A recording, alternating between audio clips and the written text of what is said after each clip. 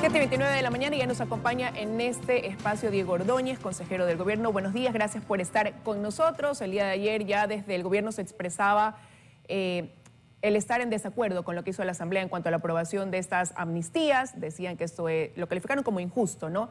Pero ¿qué pasó? Que incluso los aliados dentro del legislativo pues no actuaron de manera alineada a la bancada oficialista. La ID dividió sus votos. Siete de ellos votaron a favor y el BAN también 13 votaron a favor de la aprobación de estas amnistías. Pues buen día. Lo penoso fue que, aparte de todos los efectos políticos, en lo jurídico se cometen errores, como el de amnistiar a todos en bloque. Y hubo en la lista personas que eventualmente sí merecían esta, este beneficio constitucional, esta exoneración de responsabilidad este olvido judicial, pero muchos de ellos no. Entonces, esta acumulación de votos de la que usted se refiere se explica por esta razón. Habían en esa lista personas que sí podían merecer ese beneficio, sin duda la mayoría no. Y peor aún aquellos que eh, tienen responsabilidad o fueron autores de todo lo que sufrió el país y en particular la ciudad de Quito en octubre del año 19. Pero mire que al preguntarles quizás no el porqué de, esa votación, de estar a favor, cuando han venido manteniendo esta línea de ir más bien acorde a, lo que se maneja desde el gobierno, a lo que se propone desde el gobierno. Algunos dijeron, lo hicimos por la reconciliación del país.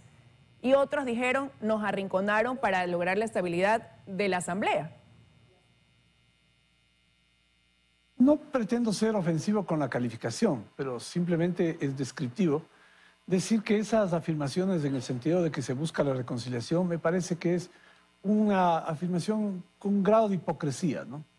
Porque si ese fuese el, objetivo, habría sido imperativo que se incluya en esa amnistía a todos aquellos que tuvieron participación en los eventos de octubre del año 19.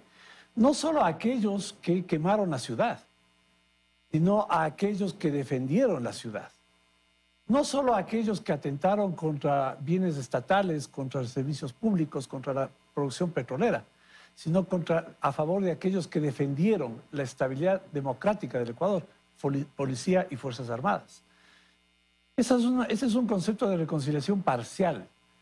Lo que han usado este argumento, los que han usado este argumento, tratan de encubrir los objetivos electorales y políticos que están detrás de la amnistía.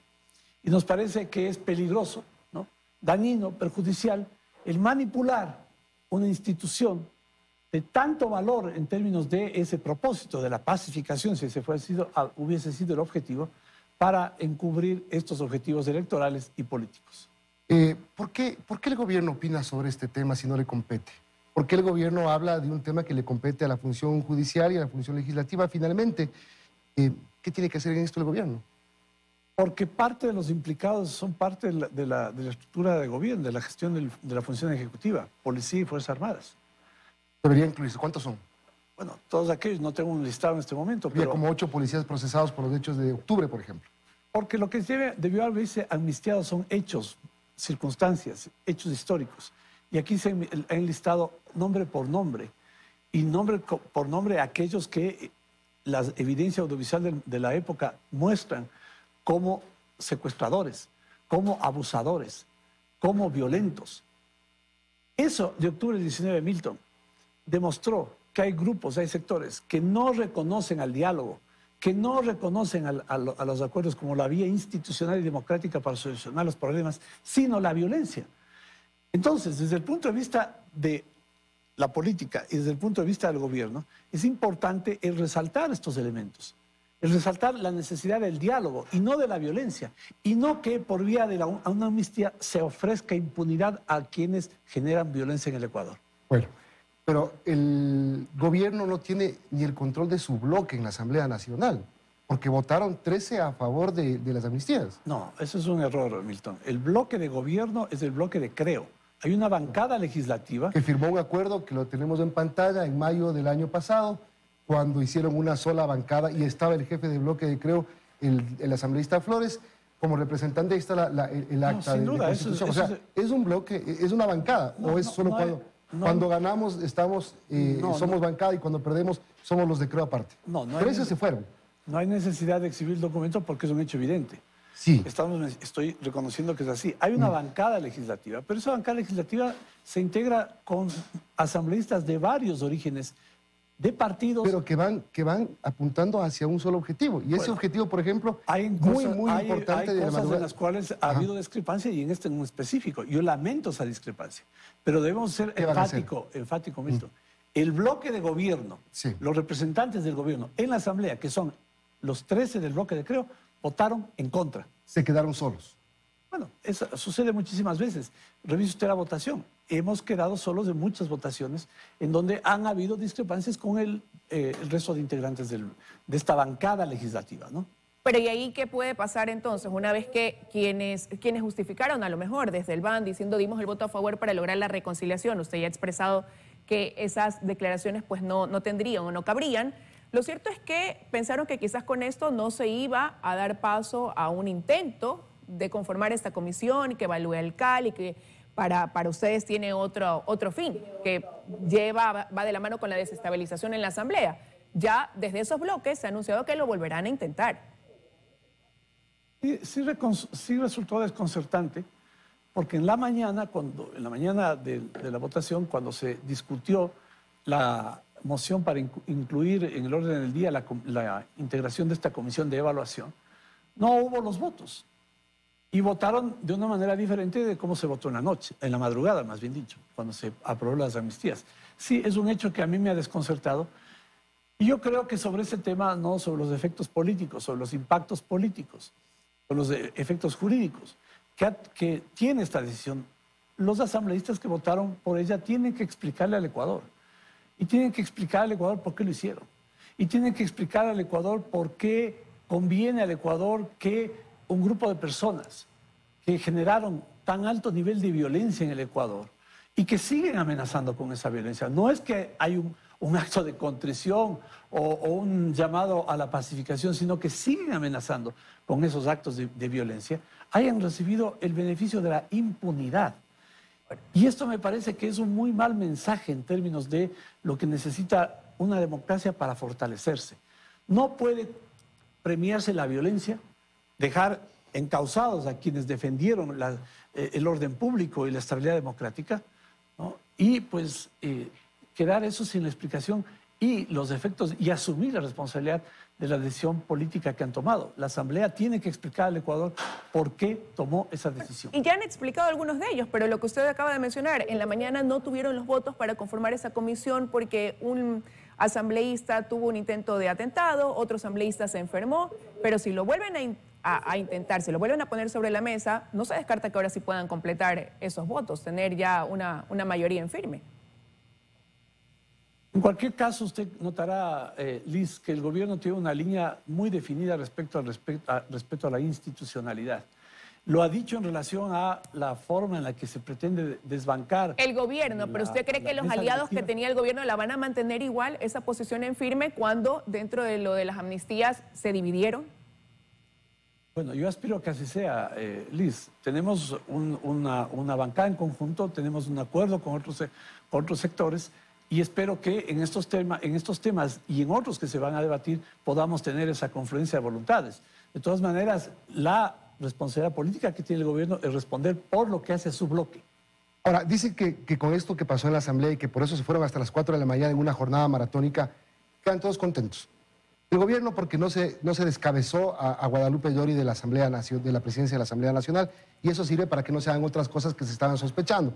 Consejo de Participación Ciudadana, Contraloría, etcétera. Se mantiene institucionalidad. Contento el correísmo y Pachacuti por las amnistías y el Partido Social Cristiano que va tras la ley tributaria. Todos van a tener algo. ¿Usted que fue legislador cree que eso puede estar pasando? Que todo se hizo en base a acuerdos. En ese análisis, en ese análisis, quienes pierden son los ecuatorianos. Sí, claro, totalmente. Exactamente. Ujú. Entonces, al gobierno le toca privilegiar el interés de los ecuatorianos, no el interés de los partidos. La reforma tributaria, si la intención es bajarse, lo que va a significar es un duro golpe a la estabilidad fiscal. La debilidad institucional no puede pasar por el hecho de que la Asamblea entre en un estado de, agitación. Eso no conviene a la estabilidad política del Ecuador. Eso no conviene a la estabilidad política del Ecuador. ¿Por qué el gobierno está preocupado por eso? sobre eso. Por lo que impacta en la estabilidad y en la certeza de los inversionistas de que el Ecuador pueda ser un espacio de inversión. Entonces, lo que acabas de plantear, Milton, en este momento me parece muy importante en términos de resaltar el que se privilegian agendas electorales y agendas políticas y se deja de lado lo que interesa a los ecuatorianos. Y debemos ser francos en esto. El gobierno nacional, el gobierno del presidente Lazo está centrado en enfrentar los problemas que interesan a los ciudadanos, inversión, empleo. Y ahí tienen dos problemas vigentes, dos problemas en camino. El uno ya está presente, ley de inversiones, ¿con qué votos la van a sacar? Y peor de todo, y lo peor de todo, la ley, la ley, laboral que tiene que venir. A, riesgo de parecer necio e ingenuo, yo voy a insistir en un concepto que, eh, sobre el cual he reiterado. El diálogo tiene que ser el camino a la solución de los problemas, incluso con aquellos que ahora pretenden desestabilizar la Asamblea y a partir de eso desestabilizar la democracia. Al Partido Social Cristiano, al movimiento correísta, a todos ellos la nueva invocación a la necesidad de encontrar puntos de acuerdos. No podemos vivir en el desencuentro, no podemos vivir en enfrentamiento, no podemos vivir con agendas que van por delante partidistas, de impunidad judicial, de intereses personales. Tenemos que anteponer el interés del Ecuador y esa convocatoria, en esa convocatoria no nos vamos a, cansar de insistir a todos aquellos que en la Asamblea tienen la representación de una parte del electorado, invocarles a que se sumen al esfuerzo de solucionar los problemas de, los ecuatorianos y no a solucionar problemas o a, canjear votos o a, o transar votos por, por impunidad o por lograr agendas que lo van a lo que van a representar al final del día pero, afectación al pueblo ecuatoriano. Pero ese es el punto de vista desde el gobierno. Quizás para legisladores en la Asamblea, y que son una mayoría, hay otros puntos. Y Hamilton le decía que va a pasar ley, de inversiones, reforma laboral, y yo agrego en medio de eso ahora el dar paso a analizar estos informes para derogar eh, la reforma tributaria, que eso, eso sí tiene un apoyo de mayoría dentro de la Asamblea Nacional. Sobre ese tema, ya que usted lo menciona, Liz, voy nuevamente pedir que exista un respeto a, institución, a las instituciones. Los legisladores no tienen capacidad de presentar proyectos o no tienen iniciativa para derogar impuestos.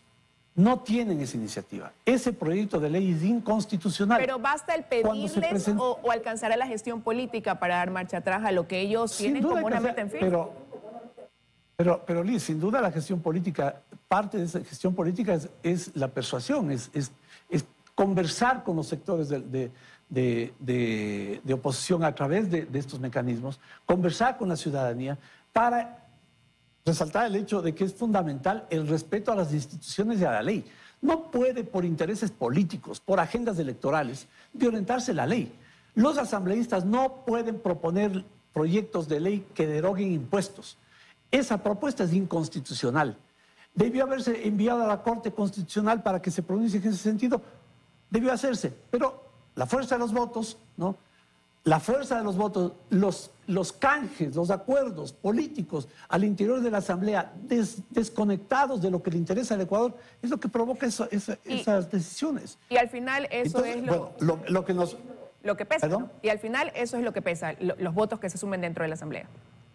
Eh, bueno, eso, esa conclusión, Liz, me parece que lamentablemente, siendo así, no debería ser así. Lo que debería es primar la razón. Lo que debería primar es la sensatez, el sentido común, el respeto a la ley y a las instituciones. Gracias. Y no, pues, por fuerza de los votos, violentar cualquier procedimiento, ¿no? Gracias a Diego Ordóñez, consejero del gobierno.